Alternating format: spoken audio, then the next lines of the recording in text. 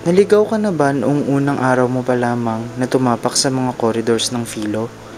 Nasabik ka rin ba noong una mong beses masilayan ang malabo face style na kainan sa refectory?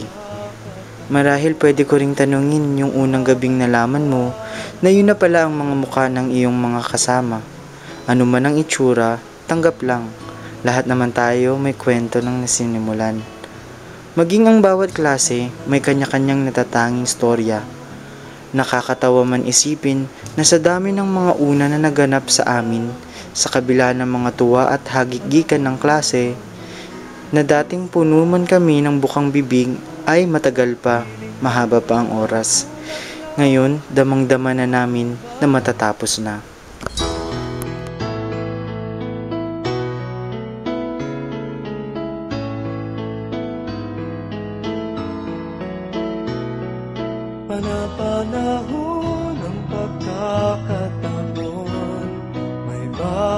Babalik ba ang kahapon?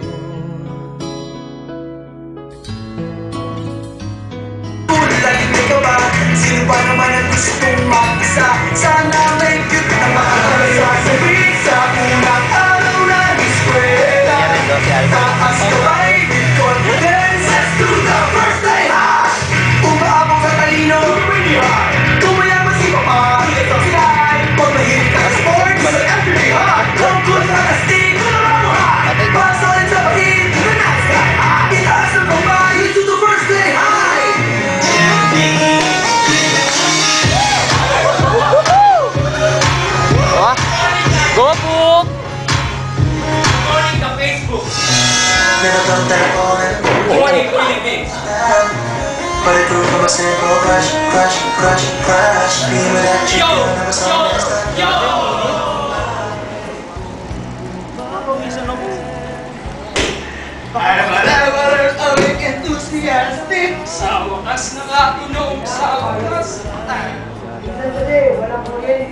Sa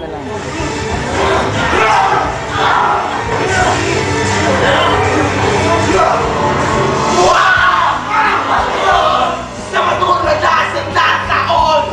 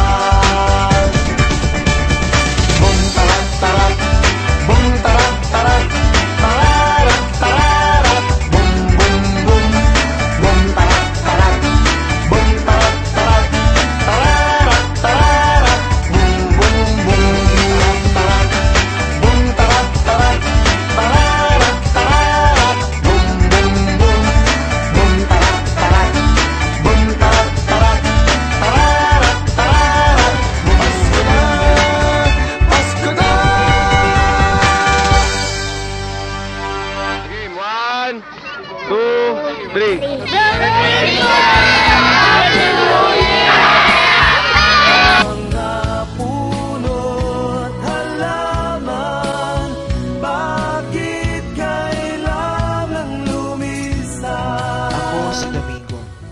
Isa akong photojournalist.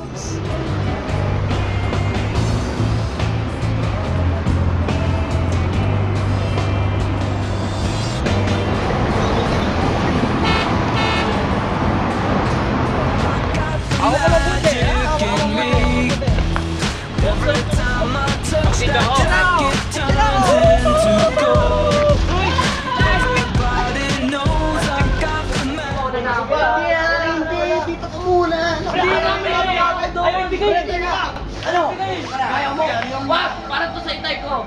Hindi! Hindi pwede! Bigay mo sa akin!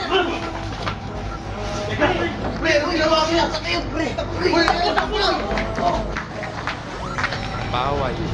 Doon sa kanto. Bugbog sarado. Ano? Anong masama? Away? Anong masama? Away? Dahil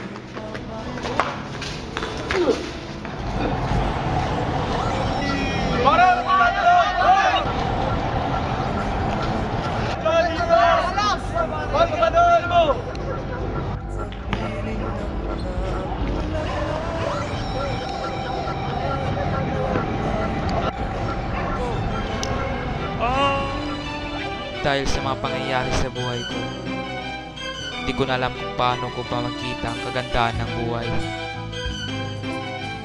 Bakit? Sabay sabi sa mundo, kaya ka pa.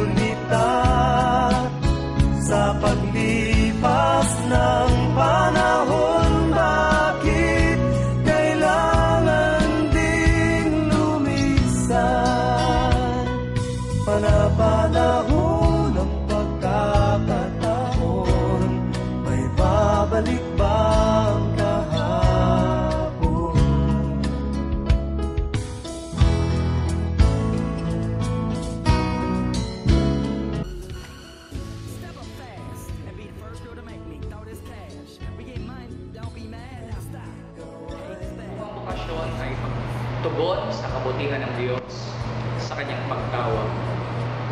Ang pagtutug ang pagtungong ito ay meet sa ating mga kaibigan, to be within places and with people na na-miss naman talaga natin while in the seminary, much more our identities as identity as seminarian.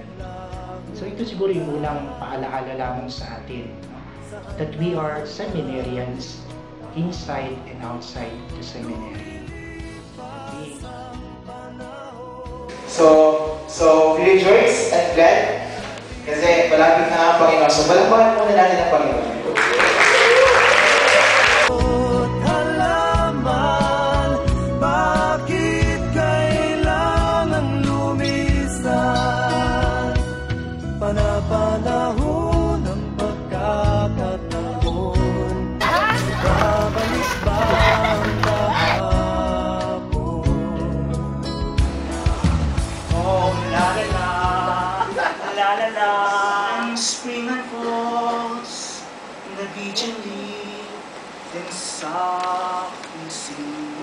Summer garbs, the garbs and fields, and corn is in the day.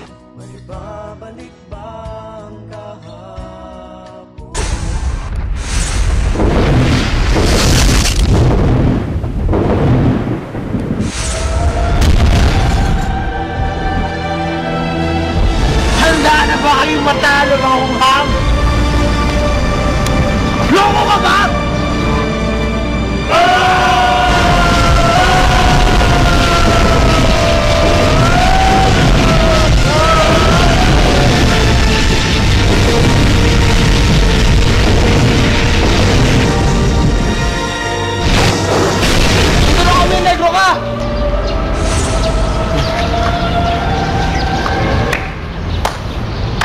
Uno, dos, tres, cuatro, cinco. Kahit lima pa kayo, talo pa rin kayo sa akin!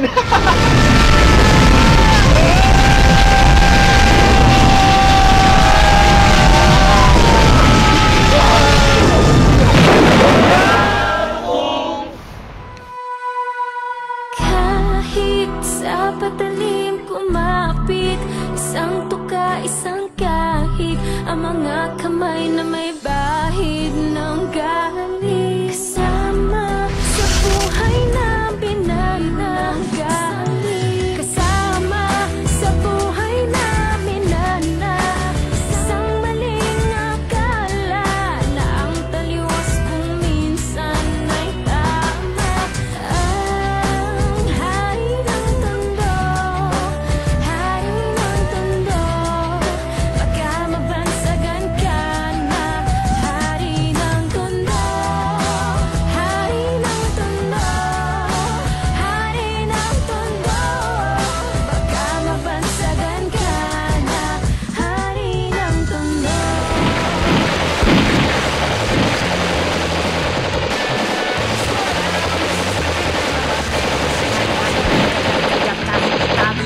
pwedeng pigilan